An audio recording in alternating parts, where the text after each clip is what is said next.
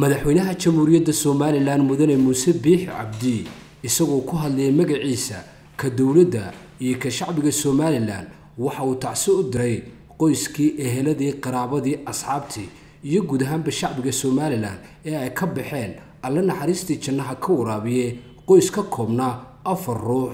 oo kala ahaa. Marxuum faysal aadan cabdi diiriye oo aabbihii ahaa qoyskan iyo xaaskiisa marxuumad hinde aw axmed oo xaamilo ahayd iyo laba carruura oo ay dhaleen